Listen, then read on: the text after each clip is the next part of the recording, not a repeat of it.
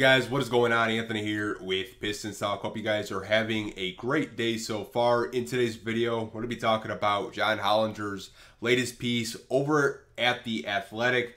For you guys that don't know what I'm talking about, he basically just broke down what he's hearing from teams at the NBA Draft Combine, and your Detroit Pistons were one of the first teams he was talking about. So I am going to share a little screenshot I took from the article and here is what he had to say about your Pistons.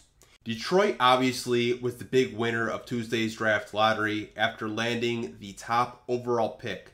The number one player on virtually everyone's public draft board is Oklahoma State wing Cade Cunningham, but it's not a slam dunk that Detroit takes him.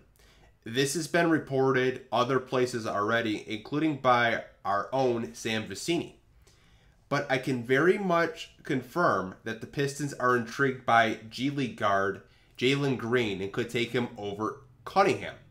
Regardless, the Pistons will pick somebody. The chances of Detroit trading down seem minimal, and my spies were equally skeptical of Houston at number two and Cleveland at number three, looking to move back in return for multiple picks. This gives a raise to more of a general question. There are a lot of teams that might seek to trade up, but who trades down? According to my math, it requires two teams to complete a trade, and this could prove difficult. After reading that article this morning, I was like, all right, this could be a smokescreen.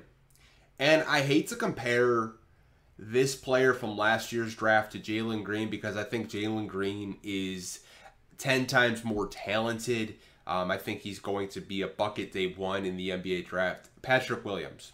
Now, last year, right before the draft, we saw all the reports that Detroit may look to draft Patrick Williams seventh overall. We all know what happened. The Bulls took him at fourth, and we got Killian.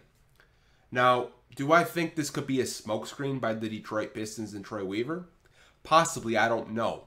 Uh, do I think there are certain people in the Detroit Pistons front office, like scouts, that would prefer Jalen Green over Cade Cunningham? It's possible. Um, I don't know. It's it's very difficult to understand um, where the Pistons are coming from. Like, if you want to take Jalen Green, obviously, like Hollinger said, you could possibly trade down with another team, maybe Houston, uh, maybe Cleveland. You could trade down with. But if you're just not going to trade down, not trying to, you know, make any trades with those teams and draft Jalen Green over Cade Cunningham first overall, I think that's where some fans may have a problem um, with this. And I can completely understand it. Cade Cunningham has been that consensus number one pick all the way back in December when the NBA season started. Everyone was saying Cade Cunningham is going first overall, and there is a big talent gap between Cade Cunningham and Jalen Green. Not to say Jalen Green's not a good player. Cade Cunningham is just a better overall player, in my personal opinion. But let me know down below in the comment section what you guys think of the athletic reporting that the Detroit Pistons may take Jalen Green first overall over Cade Cunningham. I'll talk to you guys down below in the comment section. Like always, I hope you guys are staying safe. Take care. I'll catch you guys in the next video. Peace.